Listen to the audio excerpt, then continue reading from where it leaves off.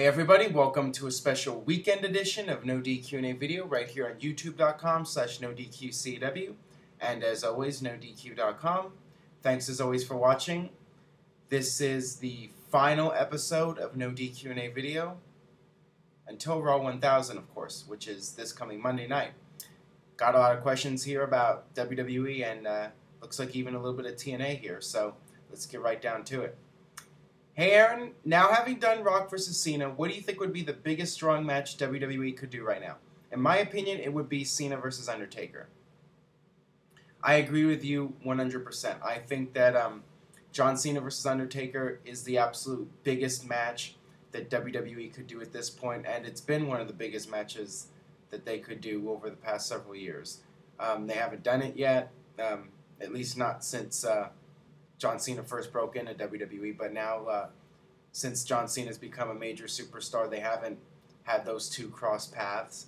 So um, that would be huge for WrestleMania 29 if that's what WWE is intending to do. I mean, you have John Cena, uh, the poster boy of WWE, versus Undertaker, who is um, on the WrestleMania streak. So it's it's just logic that you put those two guys against each other.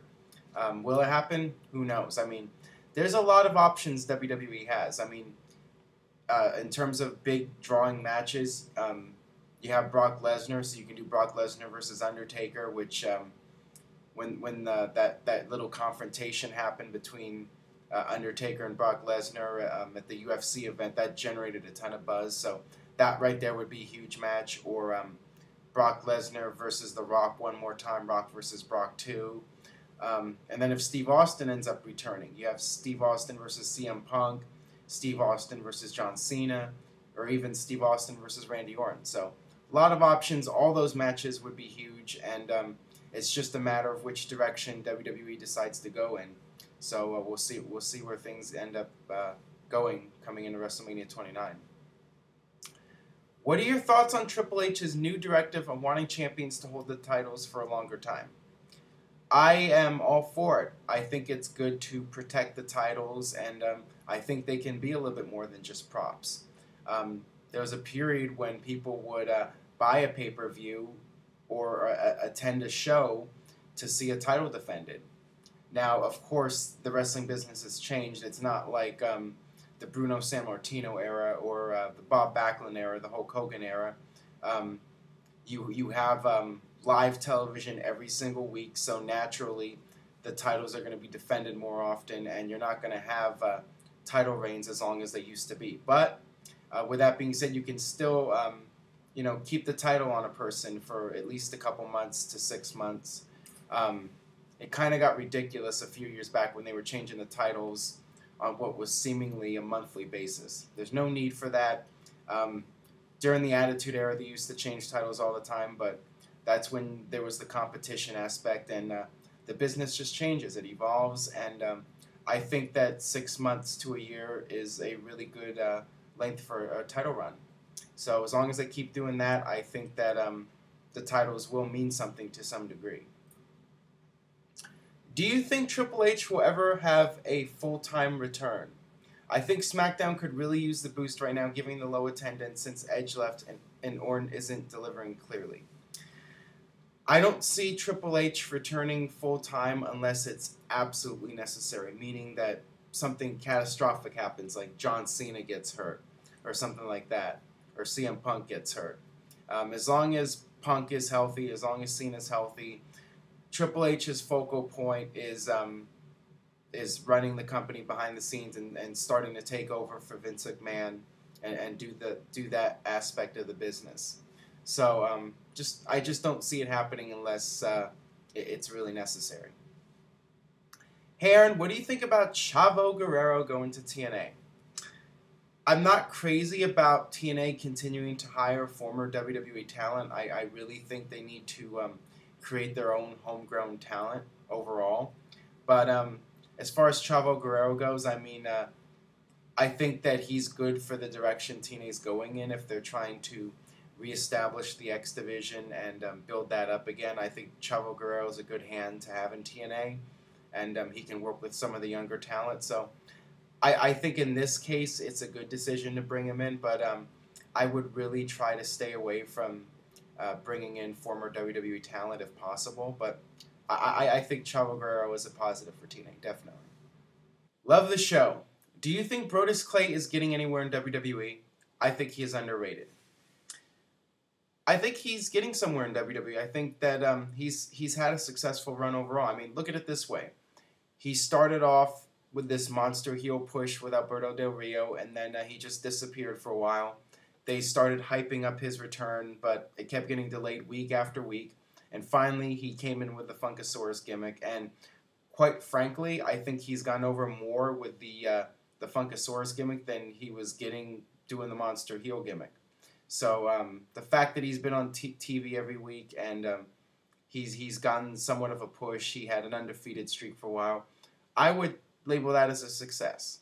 So um, I, I, think he's doing well. Um, I don't really see him going to the next level with the current gimmick. Now um, they always have the option to turn him heel again and go back to pushing him as a monster. So um, I think the guy's really talented. Will he reach the top in WWE? I'm not so sure, but um, I, I, think he's doing well overall, and um, I'm sure he's happy with the way things are going because when you're on TV every week, um, you're making the big bucks. Hey, Aaron, me and my friends come down here in Canada. Uh, or me and my friends down here in Canada love the show. I just wanted to ask, what do you think of the Aces and Eights storyline going on in TNA right now, and where do you think they're going to go with it? Please answer in video. I've actually discussed this in previous videos, but I'll go ahead and mention it again, just my overall thoughts. At first, I liked the storyline when um, the Aces and Eights group attacked Sting. But then uh, when they did the whole thing with Hogan being laid out, eh, I mean, I think overall this the storyline is a bit low rent. It comes off like an NWO knockoff, and um, it's cheesy with the um, the Aces and Eights logo on the jackets and the masks. I just uh, I, I don't I don't think it's major league, but um, at least it, it's something that's getting people talking. So in that regard, I would I would label it a success, uh, a mild success so far, because people are interested to see where things go with it and uh, where it's going to lead to. Um, I talked about this before. Perhaps it's Jeff Jarrett trying to uh, regain control of TNA. I mean, uh, that that seems to be a logical storyline, but um, you, you, never know where it's going to go. Perhaps they have a different direction that, that they're planning for it. So we'll see. But um, so far, um, I'm cautiously uh, labeling it a success, but we'll, we'll see where things go. In a showdown of mic skills and nothing else, who would be your pick out of The Rock and Ric Flair? That's a good question, and um, I guess this would be a spoiler if I ever end up doing like a top twenty-five um, promo promos of all time or guys on the mic.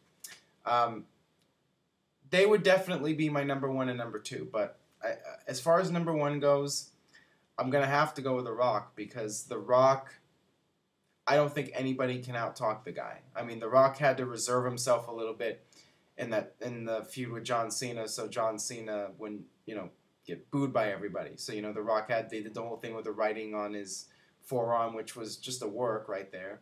Um, but yeah, I mean, The Rock can can talk like nobody else. But Ric Flair is definitely a close second. I mean, Ric Flair is one of those guys that can talk like nobody else, and um, yeah, I mean the two of them are, are in a league of their own, no doubt about it. So um, those are those would definitely be number one and number two. But I would give the slight edge to The Rock just because he made so much money just by talking. I mean that was his thing. Ric Flair was, in terms of the overall package, one could argue Ric Flair being ahead of The Rock in a ranking system. But as far as just strictly talking on the mic, I think The Rock is the master. I mean I don't think there'll ever be another guy like The Rock. Alright, that'll wrap it up for this edition of No DQ&A video. Thanks as always for watching. Make sure you subscribe, youtube.com slash NoDQCW.